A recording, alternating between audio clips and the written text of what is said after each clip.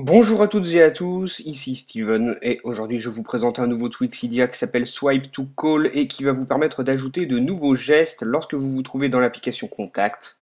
Donc le premier c'est un glissement de doigt vers la droite sur le nom du contact comme ceci pour l'appeler. L'application téléphone s'ouvre et l'appel se lance. Mais vous allez me dire, si par exemple on a un contact qui a deux numéros de téléphone, comme c'est le cas par exemple pour mon premier contact, bien sûr c'est un faux, il y a un numéro mobile et un numéro fixe, donc euh, comment savoir lequel appeler? Eh bien il vous suffit de glisser vers la droite comme ceci, et là vous pouvez sélectionner quel numéro appeler, il vous suffit encore de glisser votre doigt sur le numéro, juste comme ça, et encore une fois l'appel se lance. Vous aurez donc cette option pour tous vos contacts qui ont plusieurs numéros. Ensuite, le second geste, c'est un glissement de doigt vers la gauche sur le nom du contact pour composer rapidement un SMS. Donc là, moi j'ai ouvert Byte SMS, mais sinon ce sera l'application message classique qui va s'ouvrir.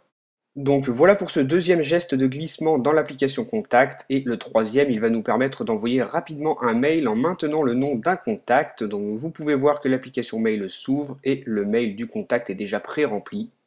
Voilà, vous avez donc trois gestes qui sont disponibles dans l'application Contact. En maintenant le nom du contact, vous envoyez un mail. En glissant vers la gauche, vous envoyez un SMS. Et en glissant vers la droite, vous appelez le contact sélectionné comme ceci.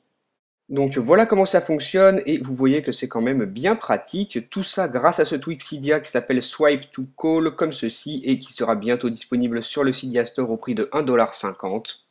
Donc un tweak assez intéressant qui nous permet de gagner du temps dans l'application Contact. Donc dites-moi ce que vous en avez pensé via les commentaires et moi je vous dis à très bientôt pour une nouvelle vidéo. Salut si vous avez aimé cette vidéo, vous pouvez vous abonner à ma chaîne YouTube, me rejoindre sur ma page Facebook et me suivre sur Twitter.